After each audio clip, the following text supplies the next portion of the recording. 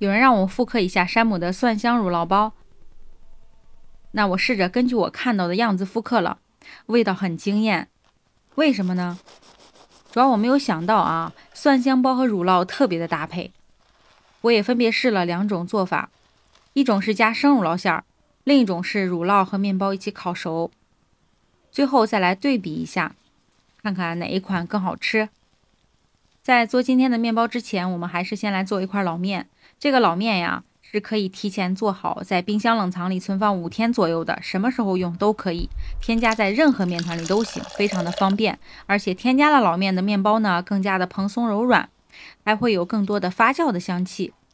先使用清水加入酵母。把酵母融化掉以后呢，加入中筋粉或者是高筋粉都可以。我今天呢用了粗麸的全麦粉代替了一半的高筋粉，你也可以全部用高筋粉来做啊。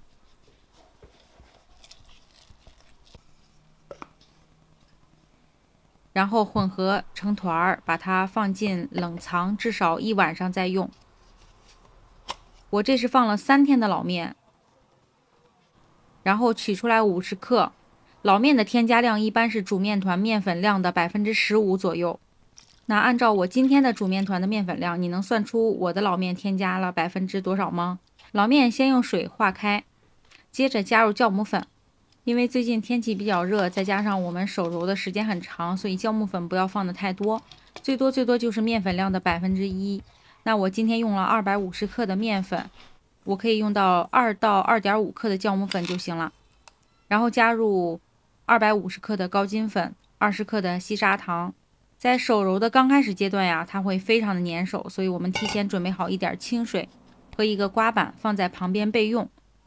然后这个时候啊，用手把干粉先抓散，一开始不着急把它揉成一整个团儿啊，先抓散，抓成这种面絮状，让每一个小面团呀都可以均匀的去沾取面粉。这样的话，你的面粉和水呢才能混合的更加的均匀。然后可以用刮板去辅助，把盆壁上的一些干面粉刮到中间收拢。然后抓取的差不多了，成面絮状了，我们就可以慢慢揉面了。底部还有一些干粉，这个时候就可以沾一点水，然后把这些干粉呀都给它揉进面团里。稍微下手揉一揉，把中间的一些比较粗的面疙瘩给它揉开。简单的用手去感知一下，这个面团里边没有非常粗的面疙瘩了，然后再用刮板把碎面团收到中间。这个时候呢，盖上一个潮湿的布，我们给它松弛静置二十分钟。在松弛的过程中，也是面粉和水的水合的过程。那经过了二十分钟以后啊。这个面团有一点点发酵也没有关系啊。我们手上沾一点水，拉扯一下这个面团，可以发现它已经有筋度了。这就是松弛了二十分钟的效果。那这个面团呢，我们现在给它翻过来，粗糙面朝上。今天的黄油量不大，所以面团成团以后就可以直接加入黄油了。呃，接着在这个时候我们加入盐。然后就可以开始揉搓面团和黄油，尽量的把它抓开。开始揉的时候，因为有黄油的隔绝，所以不是很粘手。所以这个时候啊，是非常的油亮。我们要把这个黄油呢，及时的揉进面团中。面团啊，揉进去以后呢，它就不会这么亮了。也可以放在案板上揉面。现在放在面板上的话，会更加的方便一些。刚放入黄油后，首要的目的就是把这个黄油尽快的搓进面团里。那这个时候呢，不要怕把面筋给搓坏了，一定要把面团搓烂，使劲的揉烂。慢慢的，这个面团呀就看不见油光了。刚开始的时候，它不是很粘手，你可以看到我的手啊，唯有掌根有一点点面。其实呢，还不是很粘的时候啊，但是等你再揉一揉，把黄油完全吃进面团中以后呢，这个时候再去揉搓的时候，它就会有一点粘手，很多人呀，在这个阶段就会产生自我怀疑了，觉得好像面团已经揉坏了，怎么这么粘手啊？没有关系啊，我们继续的往下搓。呃，还有一个小技巧就是你两个手啊，其中一个手尽量的保持干净，那只有四个手指头沾着一点面团儿，没有关系啊。那另一只手呢，就是拿掌根去搓。我们现在看到我的情况就是尽量的保持右手的干净，只有手指沾了一点面。那左手呢是掌根沾了一点面，然后不停的拿刮板把四周的碎面给它刮回来。这个时候啊，其实你能看出来，这个面团虽然是很粘手，但是当你把面团提起来的时候，它是成团的，它不是说特别的往下流动的那种感觉。啊，这个状态是正常的啊。开始粘手，但是在我们长期的一个揉搓的过程里呢，它就会慢慢的产生面筋。然后你看我现在抓这个面团，它就是连在一起的，而且不会特别的摊在面板上。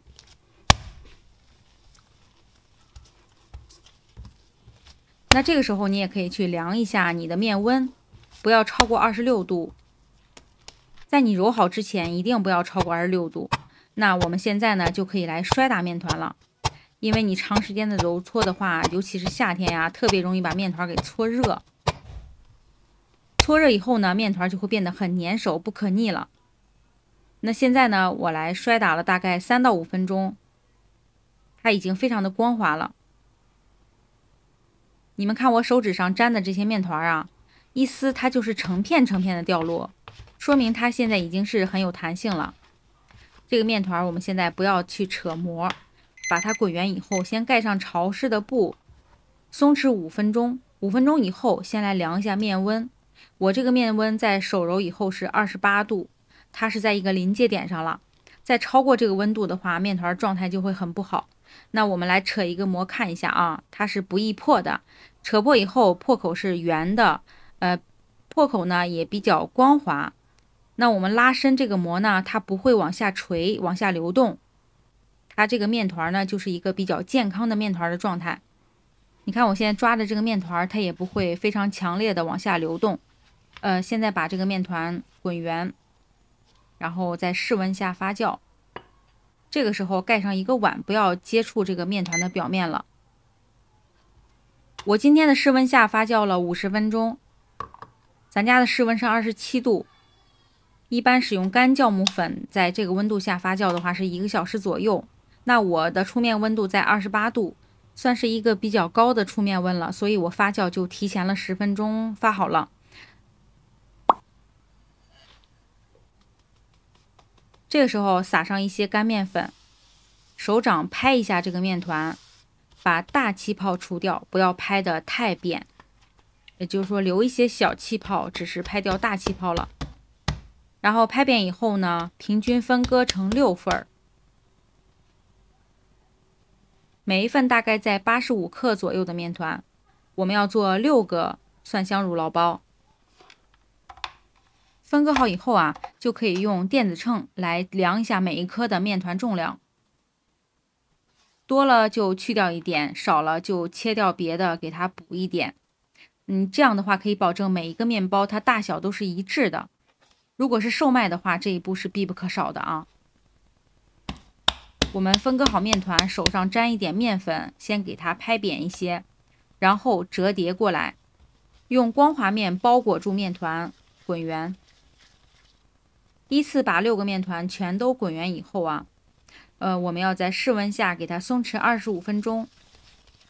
如果你的室温超过三十度了，甚至是三十五度了，那你要把这个面团放进冷藏里去松弛。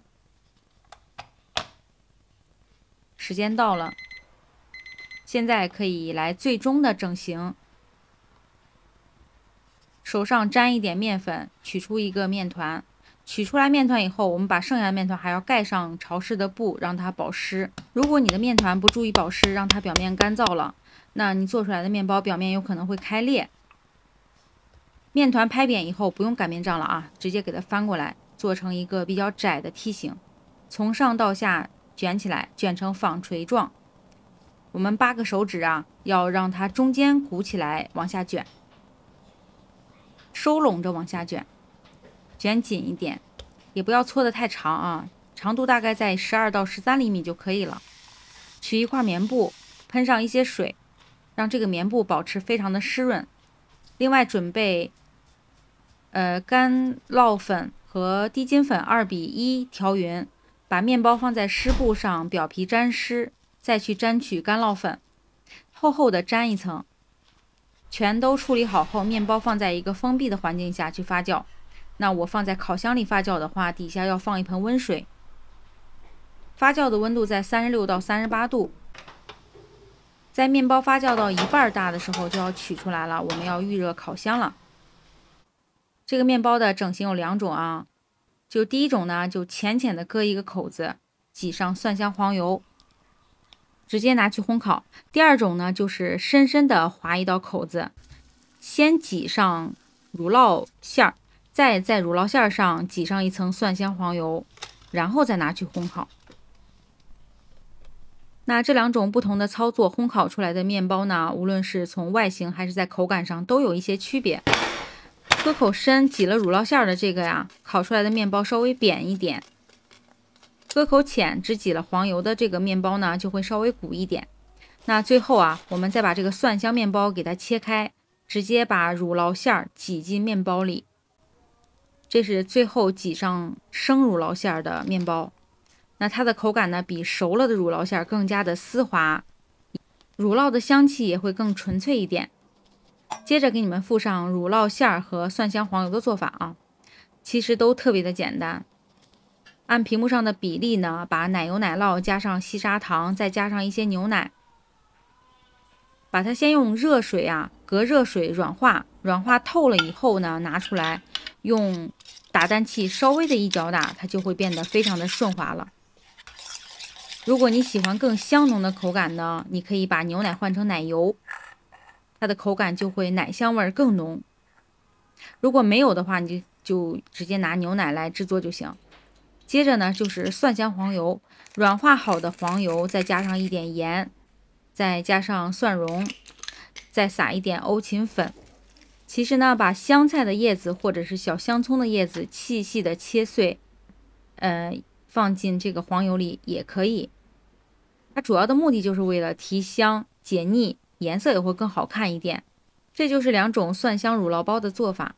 左边的这一款呢，更加的圆润一点。右边的直接烤熟的乳酪的这个做法呢，会稍微扁一点，然后切开也能看出来啊，这个中间加了生乳酪酪的面包，它的乳酪的质感更丝滑、更软。那我个人呢比较喜欢左边的这一款，大家也可以两款都试一下，或者是信任我的话，你也可以只试左边的这一款。你可以把它密封起来，放进冷冻里，下回吃的时候拿出来复烤一下，口感呢就会和刚烤出来的没有什么区别。今天的视频很长，我希望你能耐心的看完，并且动手去做一下，它真的很好吃，相信我啊！今天就到这里吧，下期见，拜拜。